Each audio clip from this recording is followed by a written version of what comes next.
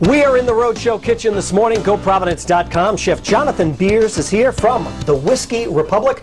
We're going to make uh, spicy shrimp and peppers with polenta. Good morning. Thanks for coming in.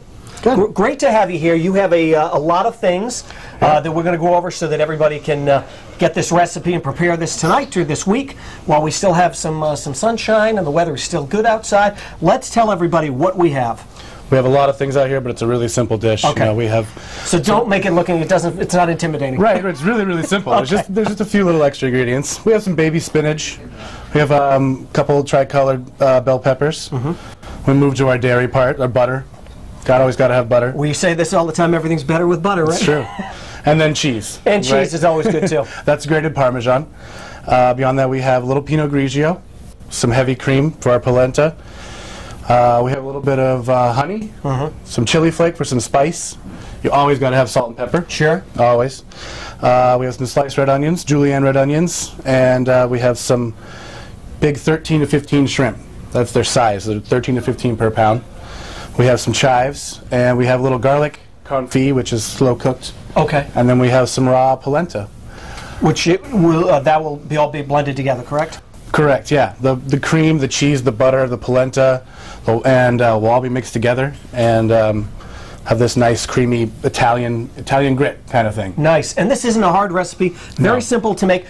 A lot of people talk about uh, you know cooking with the wine. What type of wine is that again? That's a Pinot Grigio. and you don't have to go out and spend a ton of money on this, right? Because you're gonna it's, the alcohol is gonna be cooked off cooked off of it anyway. Correct. I mean, if you, I mean, my theory is if if you're not going to drink it, you probably don't want to cook with it because you're still going to have to eat it. Right. But um, yeah, you don't have to. You know, a good eight dollar, nine dollar bottle. Is good enough for cooking. yeah, I mean, you you won't use that much of it. You'll probably use it six times before you use, you know, before you drink it. We're on the same page. All right, we have our ingredients ready to go. We're going to get cooking in just a little bit. Back to you. GoProvidence.com and Chef Jonathan Beers is here from the Whiskey Republic. Want to make polenta now. Polenta, fancy grits. Fancy grits. Fancy that's what grits, it is. Italian name, Right. You know, we have uh, essentially this is just fine ground cornmeal. Okay. So it's got a lot of starch properties. Uh, it needs flavor though. Mm-hmm. Doesn't really have a lot of flavor. So we've taken this, we've boiled it some chicken stock that adds flavor. Okay. You know, and we we've got it down to you know it's a little have a thick paste. So now we'll we'll add in our heavy cream, Looks good. Looks a good, amount of it. Yeah, so we'll good get it we'll get it to be a little runny. Okay. And then what we're gonna do is we're gonna add a little more parmesan. What we're gonna do is Mm-hmm. A little more flavor. Yep.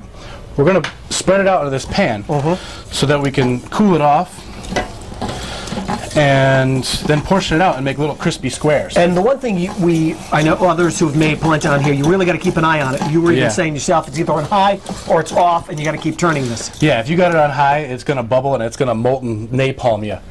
and we don't want that. no, it'll burn you. And we don't want that. So how long does it usually take? This is a good amount in here.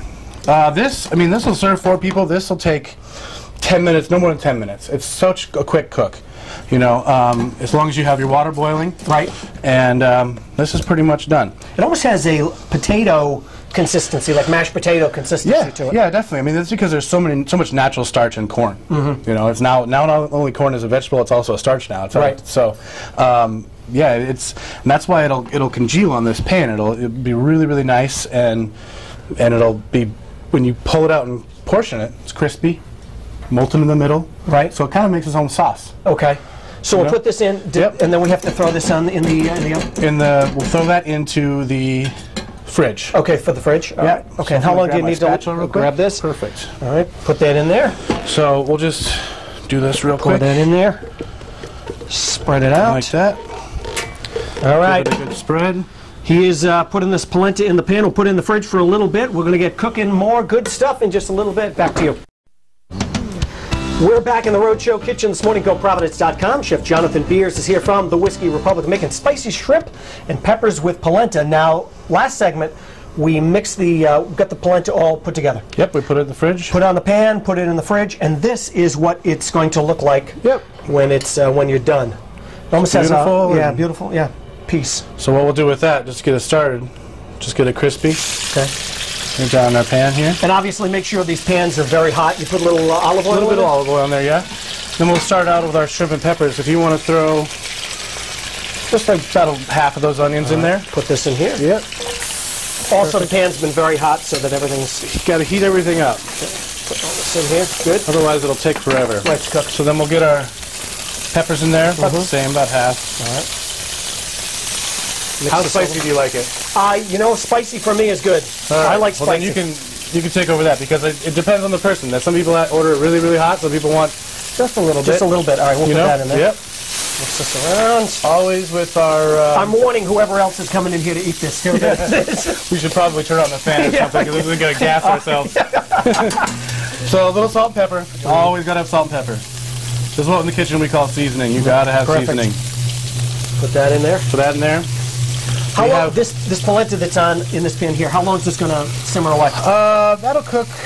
Essentially, what it's doing is shallow pan frying. So, I mean, I would say five to seven minutes. All right. It'll see. It'll turn nice and golden brown. Okay. And you want to flip it and give, do the same thing on the other side. on the other side. Our roasted garlic confit. Even better. So, for that flavor, get that in there, and then we want to get our shrimp in there. We want to get these cooking because first before the shrimp, because the shrimp will cook and we don't want them to overcook. Okay. You know, And about how big those- are these shrimp? these are 13, 15. So, 13 to 15 of them per pound. All right. So they're pretty big guys. Okay. So move it around a little bit. And while this is cooking away, let everybody know where the Whiskey Republic is and We're what you down got on- going on. We're down on Water Street, South Water Street, 515 South Water Street. We're um, restaurant, pub, sports bar. Um, we open seven days a week. Have a huge patio. Um, let brec- uh, lunch and dinner, Right. all days. Um, yeah, it's a great place. And really you- beautiful. You were saying the patio is the patio's still open, even though it's uh, you know there's a little coolness in the air this morning, but the days are still nice. So you're more than uh, welcome to still head out and go to the patio. If you can brave the weather, yeah, weather, yeah, definitely. Go and for it. Football season is here too, so Yesterday, or started last Wednesday, but yesterday was the biggest day so far. Right. So confetti. We got plinko. we have we have uh, plinko for our games. We have just prizes. So And is this one of the uh, the dishes that's on the menu? it is on the menu. Yeah, definitely. All right. And so right now we will take our wine, Pinot Grigio. Deglazes the pan, adds more flavor. It's the beginning of our sauce. All right. So some of. When you think sports bar, you don't think of a dish that looks like this. No, we wanted to go. We wanted to go to different things. You know, we didn't want to have everything fried. We wanted to have something that was light, Mm-hmm. fun. You know, something that all ages could come in and get something. So this is just starting to get a little brown. All right. So we'll flip that over. What are some of the other things that are on the menu at the? Uh, We have great burgers, obviously. Right. Um, really good handmade appetizers. Our own house-made fried mozzarella. Mm-hmm. Uh, we have ahi tuna, rare ahi tuna with a wasabi slaw. You know, your uh, obviously fish and chips. Sure. I think we have one of the best fish and chips in the city. I've had people tell me that, really? but um, that's also my opinion. Right. It's okay. You're the guy in charge. That's right. So we're gonna turn this up a little bit just to get ourselves moving. And how long should this should this really cook? I mean, I mean, you want your shrimp to be done. Right. The peppers are going to be nice and al dente, a little crunchy. Mm -hmm. The onions will be nice and soft, gave off their flavor. Um, but essentially now we're just waiting to get the shrimp cooked, and then we'll uh, add in our honey and our butter. all right. So we're gonna put a little honey, a little butter on there to sweeten That'll this. finish it up. Yeah. Finish it up. Okay, perfect. And this is what the finished product is going to look like right here. And if you want this recipe, you can head to our website, WPRI.com.